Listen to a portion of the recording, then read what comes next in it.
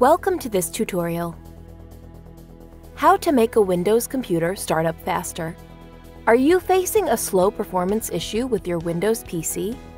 You can speed up your computer performance by performing some easy steps. This video will help you to make a Windows computer start up faster. Let's see the steps. Click on the Windows search bar at the bottom left of your desktop. Type defragment in the search bar, and from the search result, click on the Defragment and Optimize Drives app to open it. Select your C drive where your Windows is installed and click on the Optimize button. This will start optimizing your selected drive. The process of optimizing will take time. You can wait to complete it or can minimize the Optimize Drives window to work on your computer. I am fast forwarding the video on this optimized process. As you can see, the optimization process has been completed, so I will close this window.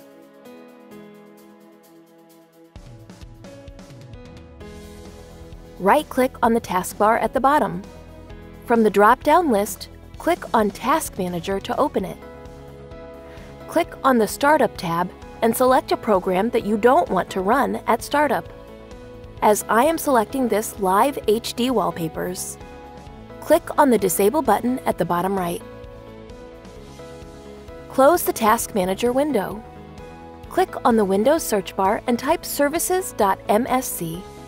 From the search result, click on the Services app to open it. Scroll down to Windows Search and select it right-click on the Windows search and then click on the Properties. Click on the drop-down list of startup type and select Disabled. Click on the Apply button and then click on the OK button. Close the Services window.